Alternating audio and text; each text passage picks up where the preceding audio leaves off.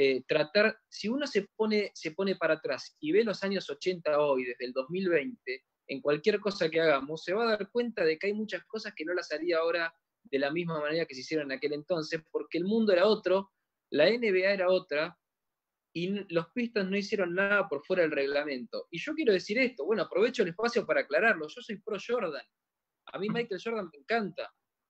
Lo que pasa que es curioso lo que me ocurrió con esta nota. Yo dos semanas antes, dos semanas antes, una semana, ahora no me acuerdo tanto, porque fueron tanta la cantidad de notas que escribí que no me acuerdo cuándo fue exactamente, pero hay dos notas que yo los invito a, volver a ver. Una se llamaba, eh, una en la que yo decía que Michael Jordan es el mejor jugador de todos los tiempos, que no tengo dudas de eso.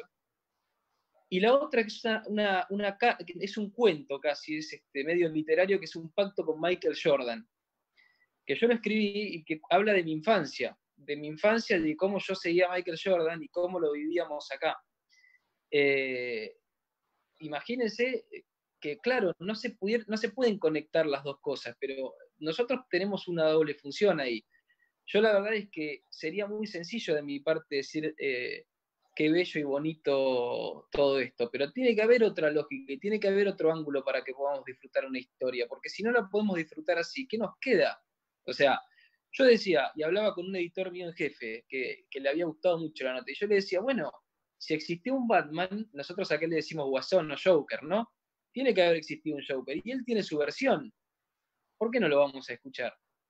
Eh, y aparte divertido, se trata de un juego, no, no es otra cosa que, que poder entender eso, pero en Last Dance, por ejemplo, que no hable de Michael Jordan, no toque el tema de Isaiah Thomas y cuando le preguntan por Isaiah Thomas diga, no, mira, yo de eso no quiero hablar. Bueno, ok. Bueno, tenemos que abordarlo el tema, ¿por qué no?